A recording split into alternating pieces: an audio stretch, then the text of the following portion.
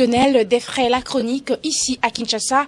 C'est l'actualité principale écrite pour vous par les chevaliers de la plume. Mesdames, Messieurs, bienvenue à cette revue de presse.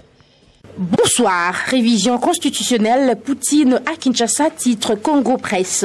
Dans son argumentaire, le journal écrit Cela n'est fait l'ombre d'aucun doute. Le président russe Vladimir Poutine est dans les murs congolais, si pas physiquement, mais à tout le moins par son personnage ou sa personnalité. Joseph Kabila incarnerait alors la personne du président russe.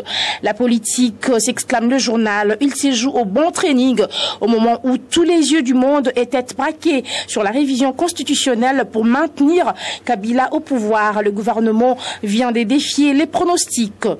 Les débats sur la révision constitutionnelle a défrayé la chronique dans l'actualité congolaise, renseigne le journal. Les opposants et la communauté internationale n'avaient cessé d'inviter Kabila à se prononcer sur le flou qu'avaient entretenu les membres de sa famille politique.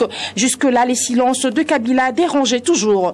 John Kerry, Russ Feingold, respectivement secrétaire d'État américain et envoyé spécial des États-Unis pour la région de Grand Lac, ont tous abordé le sujet lors de leur dernière visite en RDC.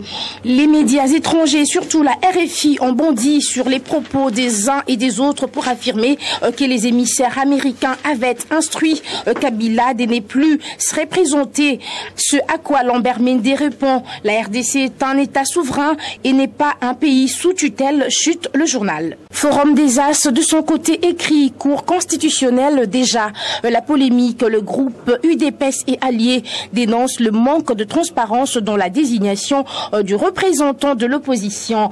La Cour constitutionnelle sera bientôt mise en place.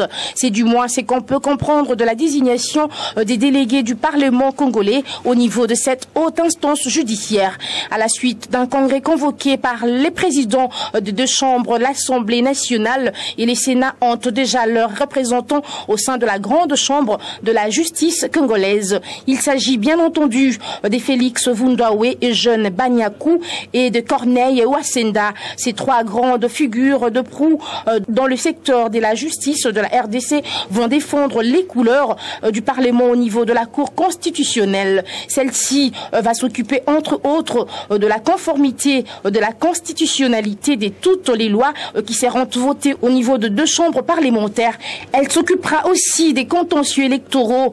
Dans ce cas précis, il s'agira de problèmes pouvant surgir lors de l'élection présidentielle, des élections législatives nationales et du référendum. Par contre, UDPS et alliés crachent sur les résolutions du Congrès. Le groupe parlementaire UDPS et alliés s'est dit non partant dans la désignation de membres du Parlement au niveau de la Cour constitutionnelle. Dans un communiqué rendu public le même vendredi 13 juin prévu pour la désignation de membres de la Cour constitutionnelle, les députés UDPS ont fait une mise au point.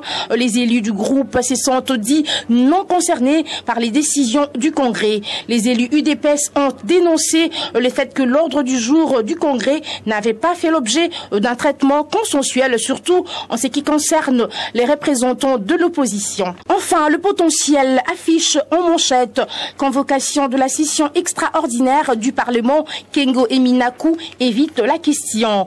Les vacances au niveau du Parlement pourraient être de courte durée compte tenu des urgences de l'heure, a indiqué le président de l'Assemblée nationale, sans pour autant donner des précisions sur la convocation d'une session extraordinaire. Au Sénat, Léon Kengo, son président, a affiché la même attitude, encourageant cependant les sénateurs à démérer l'œil et l'oreille du peuple.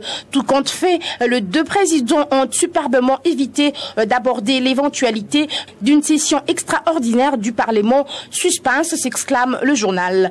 Au Parlement, la session de mars a pris fin le week-end dans l'incertitude la plus totale, affirme le tabloïd, alors que les quatre derniers projets de loi du gouvernement se trouvent d'ores et déjà au bureau de l'Assemblée nationale. Le Parlement est parti en vacances sans plus de précisions sur cette question. Si les élus du peuple devront rejoindre leurs bases respectives pour s'enquérir des désidératas des ces dernières et procéder à la restitution des travaux de la session parlementaire close. Ils devront en même temps rester en alerte et en écoute au regard des urgences de l'heure. A prévenu le président de l'Assemblée nationale, Aubin Minakou, dans son discours de clôture de la session de mars. Toutefois, pas un mot sur l'éventualité d'une session extraordinaire du Parlement. C'est tout pour cette revue de presse. Mesdames, Messieurs, bonsoir. On est fini donc pour cette revue de presse. Merci à vous de l'avoir écouté. Retrouvez-moi demain pour le compte du même rendez-vous. D'ici là, bonne soirée chez vous. Merci.